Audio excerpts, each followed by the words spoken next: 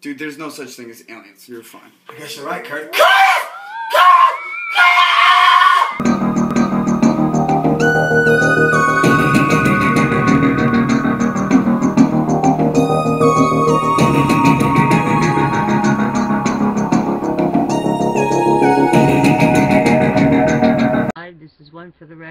I'm Diana, and today is still September 25th, 2014.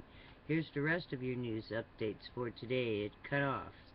Hopefully, we're having technical difficulties and we can get through this. The Watchers watching the world. Uh-oh. Here we go. Very strong earthquake, magnitude 6.2, rattles Alaska. Also, today, groundwater chemistry as a precursor for earthquakes to Iceland experience.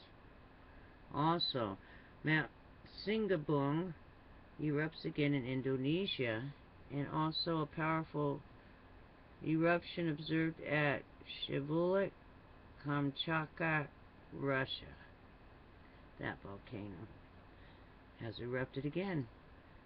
Alrighty then, moving on. Okay, we're still rolling. Good. Breaking news, breakingnews.com. Air missile, air and missile strikes hit oil fields in eastern Syria. Monitoring group says. Coming out of Reuters 58 minutes ago. Also, let's see what else we have here. Magnitude 4.6 earthquake reported 35 miles north of Hihifo, Tonga, coming out of USGS one hour ago. Alrighty then. South Carolina burglary fatally shoots accomplice after arguing about how to split up stolen goods, police say coming out of AP. Heads up, Plain City, Ohio without water, local media reports, coming out of T 10 TV. What else do we have here? Ferguson, Missouri, public relations rep fired after officials say they learned he once shot and killed an unarmed man. Coming out of KMOV.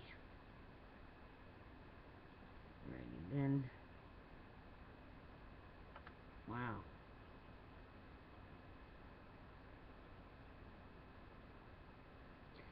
Magnitude 5.3 earthquake recorded 25 miles northwest of Lae, Papua New Guinea coming out of USGS three hours ago.